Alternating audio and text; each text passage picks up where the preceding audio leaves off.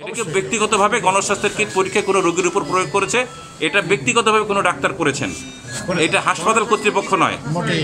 এটাই বলছেন আপনি তো। এবং ল্যাবের ইনচার্জ উনি উনি কালকেও ছিলেন আজকেও আমি বলছি উনি এখনও আছেন। আমাদের কোনো ডকুমেন্ট ল্যাব নাম্বার থাকে যে কোনো রিপোর্টে ল্যাব নাম্বার থাকে। তাদের এই রিপোর্টে কোনো ল্যাব নাম্বার নেই বলে আমি ওনার কাছে আমি দেখি শুনেছি। এই রিপোর্টে দেখাইছে সেটা ল্যাব নাম্বার নাই। তাহলে এই দায় এই দায় কি হাসপাতাল কর্তৃপক্ষ নেবে না? না হাসপাতাল কর্তৃপক্ষ এটা নিতেই পারে। কারণ আমাদের তো ল্যাবরেটরি ইনচার্জ আছে। এবং সাইনিং অথরিটি আছে।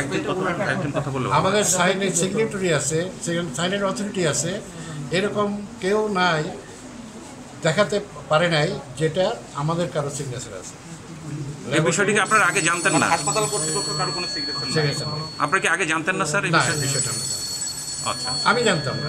প্রিন্সিপাল হিসেবে আমার যেটা পড়াশোনার ইনস্টিটিউটে আমি সেটা যেহেতু যেহেতু অনুমোদিত নেই আপনারা যদি জেনে থাকেন তাহলে লাইবিলিটিস আপনাদের উপর পড়ে কিনা সেই বিষয়টা?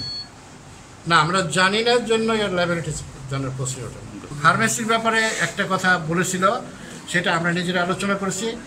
সেই একটা ত্রুটি আমাদের ফার্মেসিতে মাত্র ছিল। লাইসেন্স বোধহয়। এই একটা একটা ত্রুটি আমার চোখে ধরা পড়ছে।